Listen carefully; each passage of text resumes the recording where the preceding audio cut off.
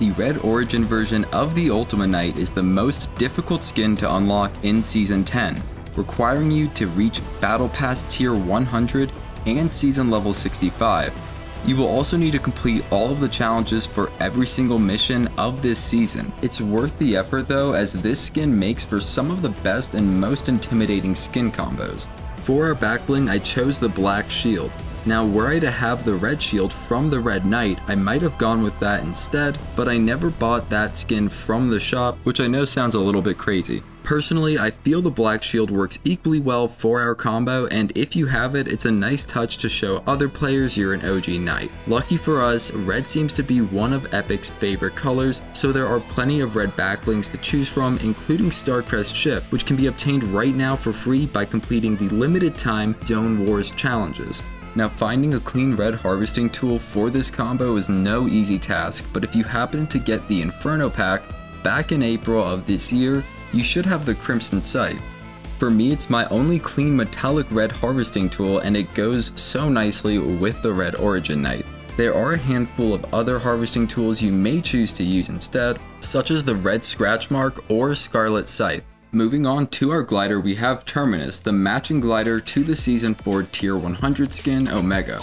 Now, fortunately for everyone, this very fitting glider for the Red Ultima Knight is purchased from the item shop, so if you don't have it yet and you really want it, you will almost certainly have a chance to get it in the future, unlike the Omega skin, which is never coming back.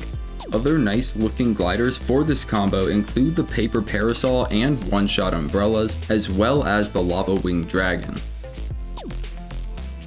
Red contrails are few and far between, there is a very nice one back from the Season 5 Battle Pass that I chose for this combo, Glitch in the System. I believe this contrail was meant to pair with the Visitor skin, which was also available as part of the Season 5 Battle Pass, however it has since become my go-to contrail for most of my red colored skin combos.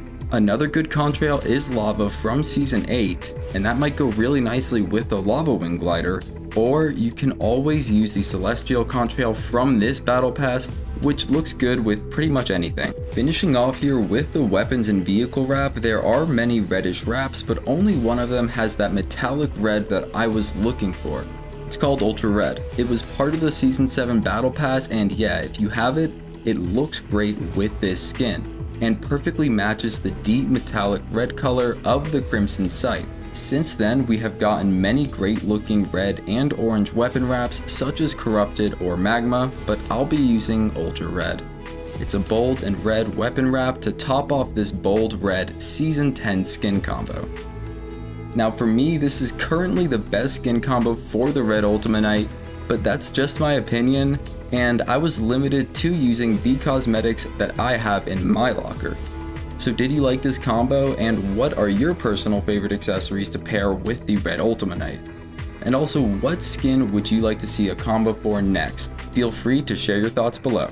Now, if you want to see more of the best skin combos in Fortnite, I'll leave some good videos to watch at the end of this video, or you can head over to my channel page where all of those videos are hanging out. And if you like what you see, consider subscribing. You're helping me to feed my cat, her name's Marshmallow. Have a great day. If you're here today, have a great Sunday and a great week. And as always, thanks for watching.